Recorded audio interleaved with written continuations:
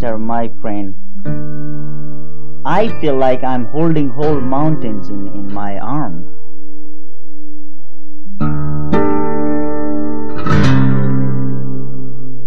When we flew into Kathmandu, there was an energy on the plane, people rushing to the windows to take pictures of the Himalayan mountains.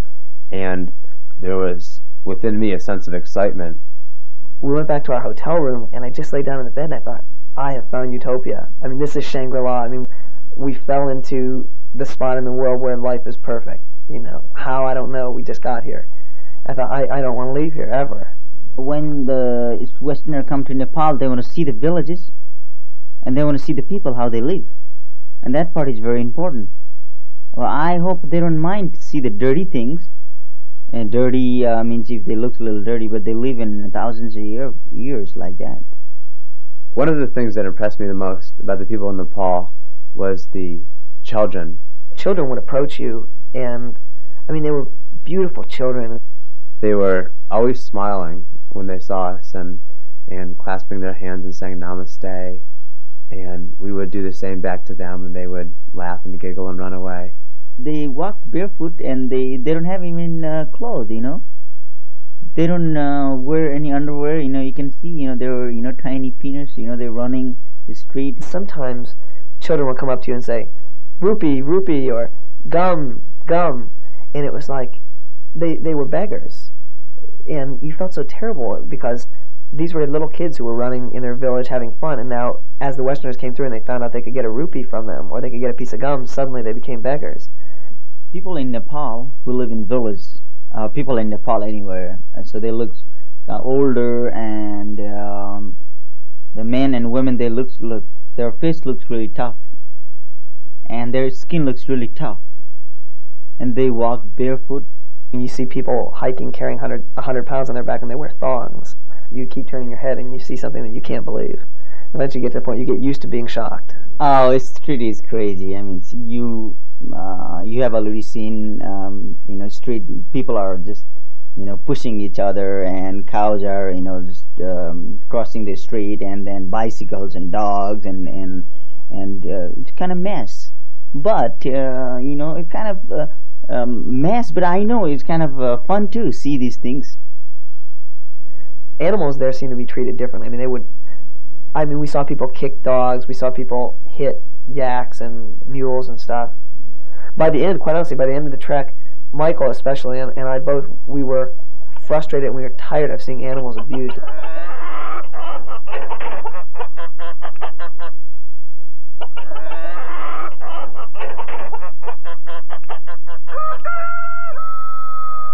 There were four of us hiking. It was Michael, KP, Prem, and I. It was the two of us, the two travelers, the guide, the porter. KP was our was our guide and he was uh, a Nepali man who we met actually from some other Americans. He couldn't have weighed more than 100 pounds. He was a tiny guy, but he was probably carrying maybe 40 pounds, but without any effort. Mr. Prem was Prem Rai. He was our porter. He carried some of our stuff for us. There developed a real sense of camaraderie, a sense of looking forward to a, to a goal and learning about a new and interesting culture together. সখী জানো কি করিল আমারে। আখি যাই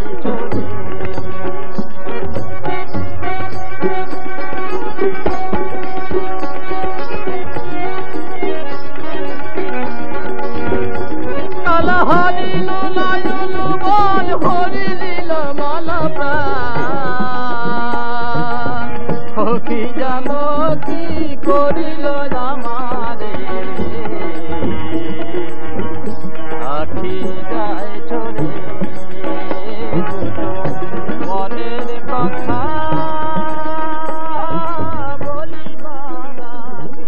We woke up at 4 o'clock in the morning and it was dark.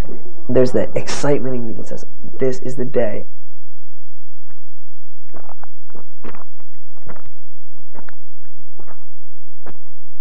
In the beginning, our walk was like you were climbing trees. You know, you feel like, gee, I mean, it's forever I'm climbing like this, and you can't see anything right there. But Every step you took was only a foot, you know, step, step, step step, up the hill slowly, clog, clog. No one was saying anything. You could just hear footsteps in the gravel. Up, up, up. In the back of all of our minds, whether anyone wanted to accept it or not, there was always that fear of what happens if we can't make it. There was also the sense of doubt because if we were able to pass, maybe as we got higher and higher, we would be, develop altitude sickness. Which can result in lethargic behavior and nausea, and you just fall down and don't want to move, and you can die. You know, many people get killed in Thorong, uh, Torongla, Thorong Pass. Many people. Maybe a lot of snow uh, we can't do. See, and I don't want to kill the people. I don't want to kill myself. So that was the scary part. Until we eventually reached the summit, there was still doubt left in our minds as to pe- if people would have to turn back. It helped me knowing that everyone was together trying to get over the Thorong pass and that they wanted me to cross it as much as I wanted them to. When we walk together, we can help each other. When you walk, let's say, uh, maybe uh, a minute, and you have to stop right there, and your heart is beating like, uh, you know, very fast. And the mountain plays a cruel trick on you. It it looks as if you're about to get to the top. Like when you walk a little bit, you look like, oh, this is the pass, you know, Thorong Pass. This is summit. No, there's another one, another small hill, and then you cross that one, and then another hill. And there were probably three or four of these false false summits where you'd see them you think, oh God, I'm dying, I'm dying. You walk 50 yards, you'd stop, you'd pant, you'd breathe, you'd choke. And then when you stopped wheezing through your choking and you were still panting, but you thought, well, this is all the better I'm going to get, you kept walking again until you started wheezing again, you kept walking again. And you get to the false summit and it wouldn't be it. And it was just crushing. You feel like, gee, I'm, you know, am I okay? And every time you got to the false summit, you thought, I can't take much more of this. You know, this I've got to get there soon because I'm going to die. When they their heart will beat and they think this is the end for them, they live luxurious life in America, whatever you know, what part of the world.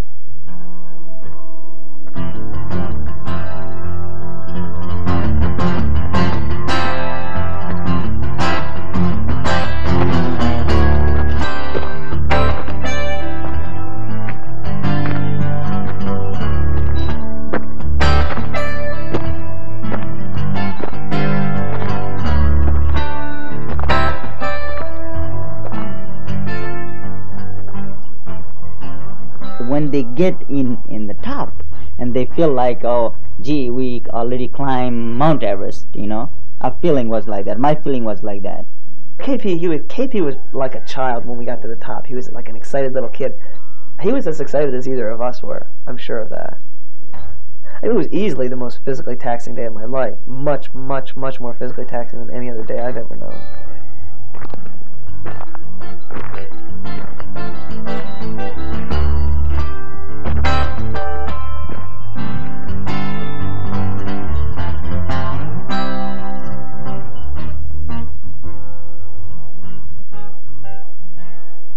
Muktinath was the city on the other side of the pass.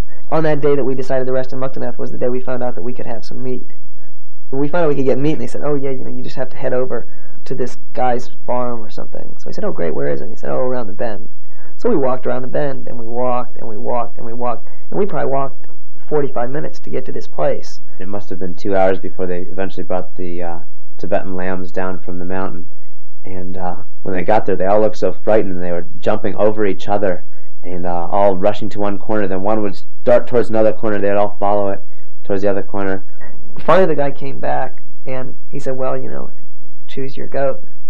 And we were thinking to ourselves, "Oh, how can we, you know, put the kiss of death on any one of these animals?" I felt sort of a sense of sadness. We had to get the goat from the farm all the way back to the village, and it took us 45 minutes to get there. Going back with an unwilling goat, it took us probably an hour and 15 minutes dragging the goat along. We had a rope around its neck like a leash. The lamb didn't want to go, and we were pulling it, and someone was pushing it. At this point, I was starting to get really uncomfortable because, you know, the animal obviously didn't want to go. And you always sort to feel, well, okay, you know, I'll kill the animal if it doesn't mind, but it really cared. It minded. It knew. And I didn't want to do that. For the final 15 minutes, three or four guys had to carry the sheep, physically pick it up and carry it back to the village. But eventually we got it there. Gee, I, I'm laughing. I didn't even know they're they're bring that goat. See, and when they bought the goat, I was happy. The reason we kill goats for meat in Nepal, but it's sad for a Westerner. I know that. Well, at that point, the, the villagers said, okay, we're ready, and they got their knives out, and they were going to slit the uh, goat's neck. We really decided to kill the goat. I'm sorry for the goat, but um, uh, I was thankful for meat. They slit the goat's neck, and you could see the bright red blood start to stream out into the bucket. There was a, a wall, stone wall, and when they killed the goat, they cut its head off and put the head on the stone wall. And the light shone on the goat's head, not on the whole head, but only on one place where there were a few drops of bright red blood on the bottom, and, and its eyes were still open, looking straight ahead. And it almost looked like it was still real. There was this animal that you had just struggled with the whole way, and they took the coat off, and you know there was this animal, you know, his legs laying up in the air, and you could see the meat, and you could see the internal organs, and you could see everything, and watch the process as it turned from a living thing into components like meat and cloth and if we um, reach any summit, we do sacrifice animal. That's the Hindu um, custom. And I have a I have a feeling like um, some mountains need also blood. If you didn't give your blood to the mountain uh, sacrifice, you sacrifice the animal blood. Left my happy home, see what I could find out.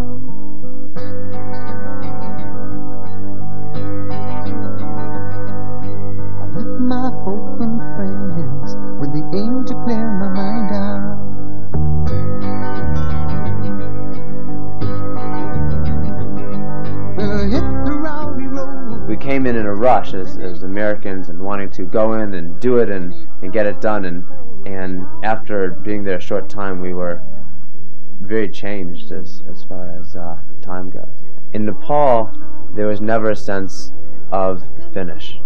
You could spend as much time with people as you wanted to and because of that there was never a search towards an ending. The first thing you need to do if you want to go to Nepal is, is get ready to open yourself up. Because if you make the trip all the way over there without the openness, the willingness to take a chance and to learn something and to experience another culture, you know, you can miss out more than you can imagine. I think that whenever you expose yourself to a different culture and people that have a different way of life, um, you get a perspective on your own way of life. It was it was a really important spiritual experience. You deal with things from within yourself and being around people who live in that different sort of lifestyle, that more primitive culture, help you to come to some conclusions about how you feel about your lifestyle, what lifestyle you want to lead, and what you're doing on the earth. I mean, you, you start getting pretty philosophical when you get in that sort of situation. You can't help it. I felt a sense of belonging, I guess. I think that I'll definitely go back. Nepal is one of the great undisturbed places of the world, and now it's mildly disturbed by Westerners, but you don't want to really upset the balance of their life there. You don't want to destroy their culture. The people uh, in, in Nepal, if they will change and will become uh, unhappy uh, people for future. So I'm a little, you know, I'm a little scared this part. It's hard because the kids are really poor, and you see kids who aren't provided for, and you think, you know, I have an opportunity to clothe someone or to feed someone who might not get fed, but you also have an opportunity to destroy someone's culture.